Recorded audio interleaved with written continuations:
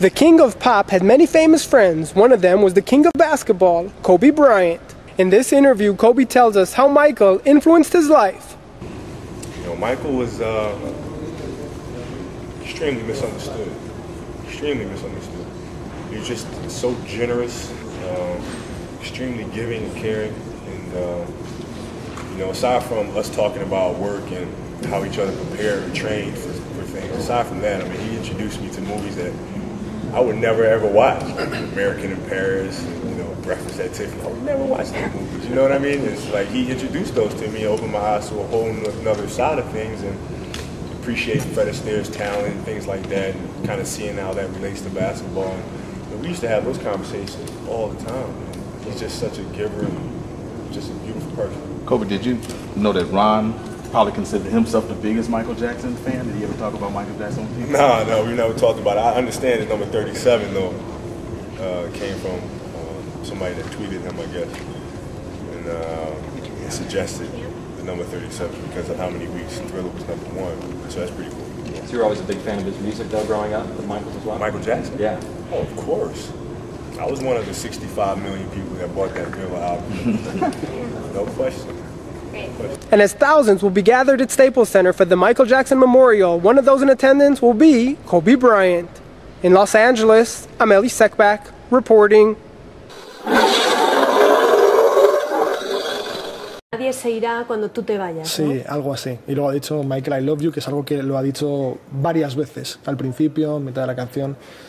La verdad es que el Stevie Wonder también, eh, al margen de ser un, un personaje muy importante por sí mismo, también está, tiene, tiene una, una relación con Michael Jackson, son vidas paralelas. Él también fue un niño prodigio, ¿no? Como Michael Jackson.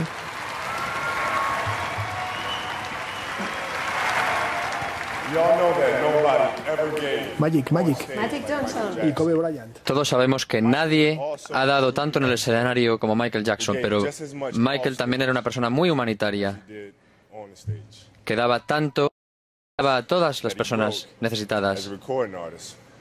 Y Guinness todo el dinero que ganó y de todos los récords que batió como artista, batió uno más, el de artista que más donaba a las causas justas. Hizo muchísimo por muchísimas personas durante muchísimo tiempo y por ese motivo Michael estará siempre con nosotros.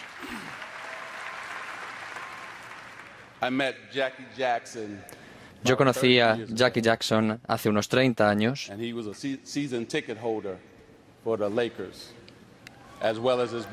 cuando trabajaba para los Lakers. Jackie y yo nos hicimos amigos.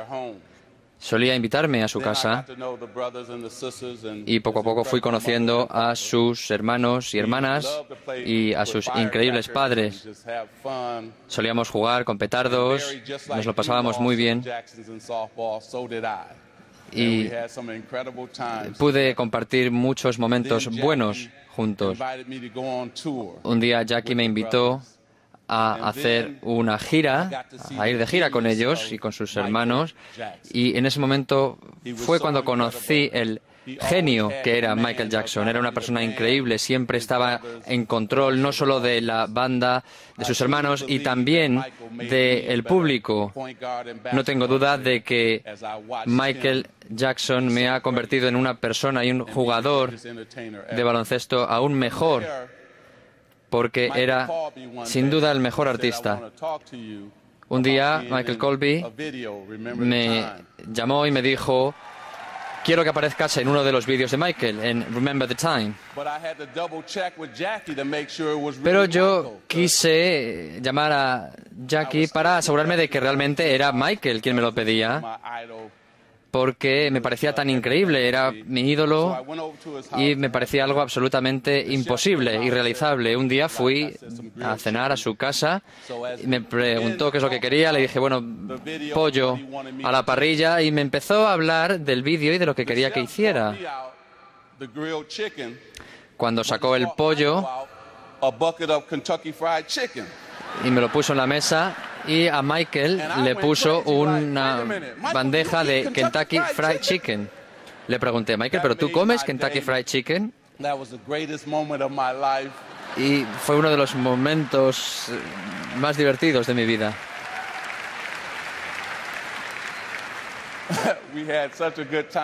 Nos lo pasamos increíblemente sentados en el suelo comiendo pollo de Kentucky. This. Is a celebration of his life, of his legacy. Quiero decir lo siguiente, estamos aquí para celebrar su vida, su legado. I want to thank Michael for opening up so many doors. Quiero dar las gracias a Michael por haber, haber abierto tantas puertas para los afroamericanos.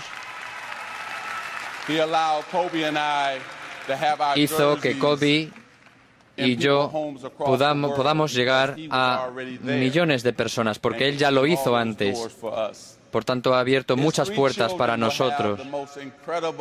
Sus tres hijos tendrán, sin duda, la mejor abuela que existe para cuidarles. Los tres hijos de Michael tendrán asimismo tíos y tías increíbles que también les cuidarán y tendrán muchos primos y primas con los que jugar. Por ello, que Dios siga bendiciendo a esta increíble familia.